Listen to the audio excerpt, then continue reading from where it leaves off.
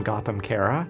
I um, have been in the high tech space for a number of years at Seagate Technology, IBM, Hitachi, and some other great companies.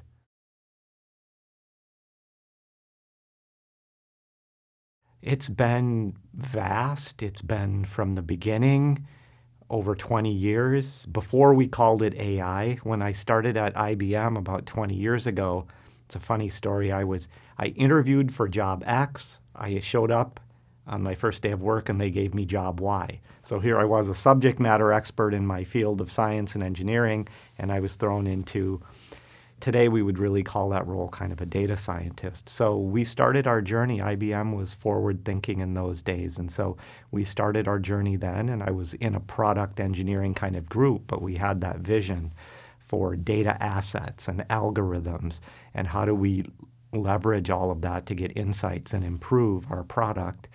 And um, it's it's just grown over the years, and as the industries have started and all the buzzwords and so on, we've we've been right there along the way. It was very exciting.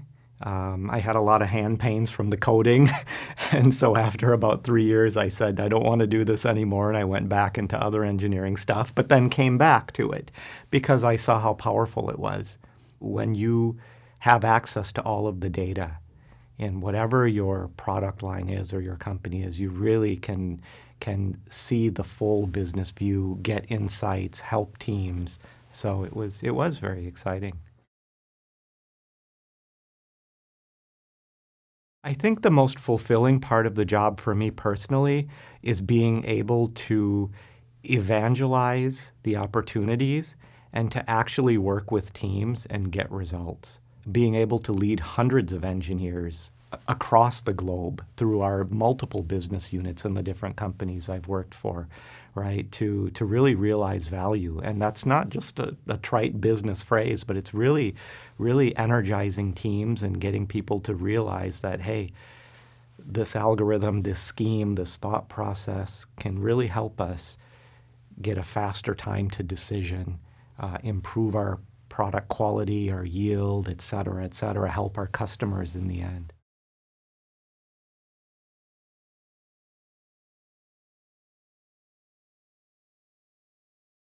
I think you know, in in the space I've been working, I mentioned the, some of the companies I've worked for. This is high tech hardware, device manufacturing, and R and D. It's not a Google or a Facebook or, or uh, an AI company in that sense. But we amass massive, uh, huge, uh, enormous amounts of data as we're building our product and during our R&D phases. And so how do we get insights from very complex data, from how do we get learning faster? Um, so we've used AI um, what we call today AI, these advanced algorithms, advanced analytics in, in numerous cases. From an R&D side, if I'm running a matrix of experiments and I have all of this data, how do I get my arms around it?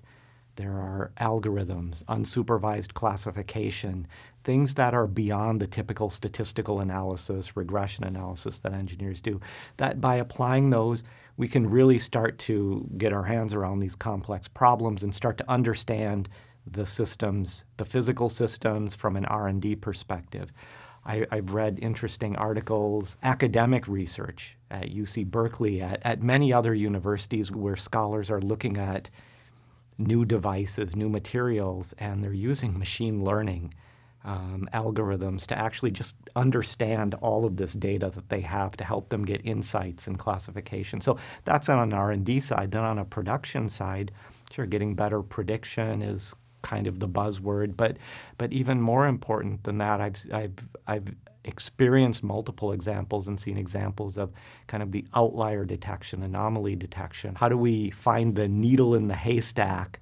That's a quality problem or a reliability problem. That's a pain point for our not only our internal quality teams but for our our customer, right? So all kinds of, of applications there.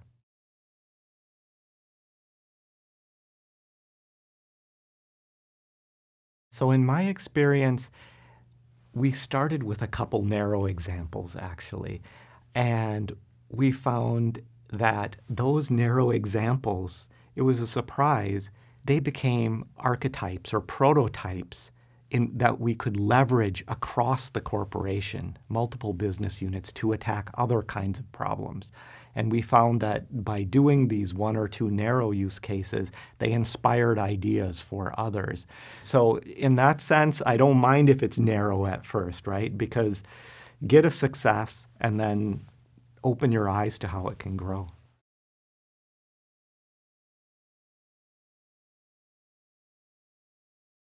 Yeah, so my my experience has been predominantly in in hardware-based spaces, right, for the past 20 years or so, and I just see us as an orchard with all this fruit that's ripe on these trees, and we just need to keep. It's you know low-hanging fruit has been harvested, but we need to get the higher-hanging fruit, and this whole AI aspect into our product development and to our factories and so on is allowing us to, to grab some of that. So certainly, definitely in, in my arena, in that hardware arena, I see it. I hear from other colleagues in other spaces um, how they're using things in retail and, and in many other spaces. And, and I think the common literature talks about those things, and I, I really believe them. I don't think there's any industry that that um, can say, oh, I can't benefit from these advanced analytics or AI if there's any kind of analysis being done, then this can surely help, right? It's a matter of having that open mind and, and being able to just jump in and try it. I have applications that are saving in the X millions of dollars, right? I mean, if I can improve the product yield by 1%, that's a very high value proposition for a company that's building, you know, millions of widgets per day, right? From a pure ROI standpoint, it's a no-brainer to me. Um, but one still has to demonstrate it and get the buy-in, right, of the execs.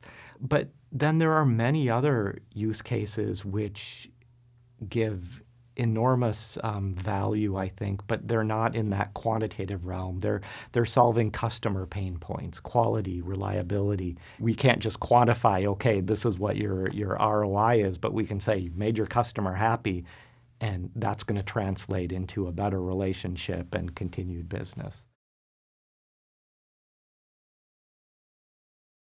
In the hardware space uh, in which I work, I, I work with um, some of the quality teams that are customer facing, and they will get some products that failed. They'll they'll get a return, and the customer will say, "What the heck happened here?" We will use AI to look at all of the data on that device to help us understand, to classify what happened, and to help us understand. And you know, all these high tech devices are complicated beasts, and you know, standard, some algorithms give maybe 50% accuracy. Well, that's that's a coin toss, right? That's not that's not good enough. So, so we've developed um, other algorithms. We've taken benefit of the rapid advancement of this whole arena um, to bring in the newer algorithms and schemes and so on to improve our accuracies up, you know, significantly. And that delights the customers. We can tell them, okay, we're very sorry this product didn't work. In an hour of analysis, we can turn it around and say, we think this was the cause and this is how we're going to fix it. And then, you know, in a few days, the customer is quite satisfied.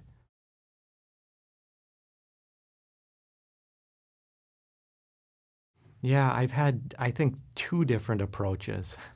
There are some executives who are very innovative and savvy in this whole area. So if I speak with them about some AI technology, they're already there. They they they understand enough about the space for whatever reason, or they're simply more innovative and they're more of a thought leader, right? And and for those executives, it's been very easy. Then there are the other executives who aren't in that thought leadership realm. Their expertise is maybe more business leadership or personal people leadership, right? So for them, I've had success by being very straightforward and more bottom line business. Here's what I did. Here's the result I got. Here's how long it took. Big benefit there. Here's how much it's going to cost to move forward, right? And the those simple plain matter of fact business statements make a difference to them. And if the AI is really helping, then it'll just sing and it will sing to them. And so I've had to speak to two different audiences, basically. Those that are the thought leaders that are into this, and for them, it's a pretty easy sell. For the other um, executives, um, there's a little bit of nervousness at first, but no, if you've got a solid case, the, the numbers, the, the approach will just sing. I think the misconceptions are numerous at this point. There's still so much hype over over the AI space. What's a neural network? What's a convolutional neural network? What are these different algorithms and so on, right? So a neural network has nothing to do with the brain. It has nothing to do with neurons. It's just a simple paradigm. The equations behind it actually are not that hard.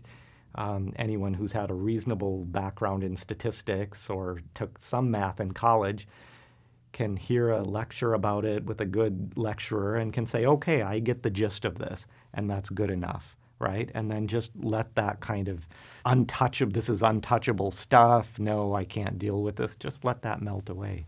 It's, it's, actually, it's actually pretty approachable. Eh, some years ago, I used to hear some executives say, no, these projects, the AI stuff, your machine learning algorithm, neural network, no, that's not going to help us here. What are you talking about? But look, it did, and we continue to accelerate our application of that. So it's not well explained, and maybe how, that's how this course will, will help really business leaders understand that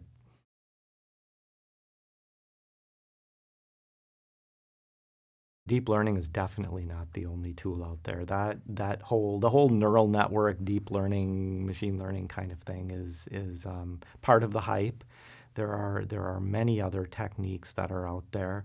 Um, I, I think um, people should have a well-rounded, a complete AI or data science toolkit.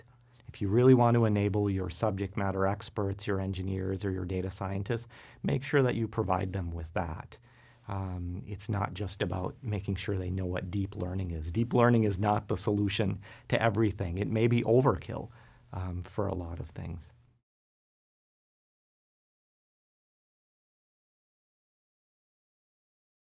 Yeah, I think eh, in a general sense, what, what I've seen is your data scientists, your engineers, your subject matter experts will have tons of ideas and they'll come up with great things that can and should be implemented. But then the question is, does your corporate architecture support that? Well, does your IT organization's data infrastructure and however you're doing things on premises in a cloud, all of that stuff, does it support the deployment of, of your machine learning, your AI algorithm and scheme? Now, doing things in an R&D mode and kind of ad hoc is easy, but if you really want to go into production with something, then that whole piece, that whole architecture thing, your um, IT organization or whoever's responsible really needs to be in step with, with what the different business units, what the users really need from what I've experienced and what I've seen is that it's, I don't like this term, but it's a journey. And um, everyone's been learning as they've been going. And architectures have had to change. Companies have invested in whatever architecture it was. They've built a big data lake or something in a, in a, in a cloud, whether it's their cloud or an Amazon cloud or someone else's cloud. And as the use cases and, and algorithms and needs have changed in the company, um, or as the journeys continue, they've matured, then we've realized, oh, we really didn't build the right architecture, and so we really need to move to this, right? And at the same time, the whole architecture arena is is changing. Um, so IT organizations have to keep up with that, right? And, and ha really have a good AI ops, ML ops kind of structure in place.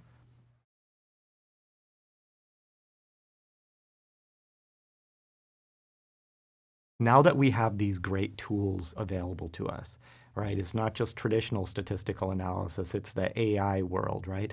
Then what do we do with that in terms of our systems and our processes, right? So we should think about making sure that as we go through our R&D processes, our factory building um, our widgets through the factory, that that we're in, that we're always asking, okay, whatever the question is we're asking, we should ask the teams, okay, have you used your full toolkit to attack this question, to attack this problem? Was there any additional insight from an AI algorithm or a machine learning algorithm, or any better prediction that those can give? So um, we really need to just, I think, ingrain it in our processes from the R&D through the product life cycle into the factory.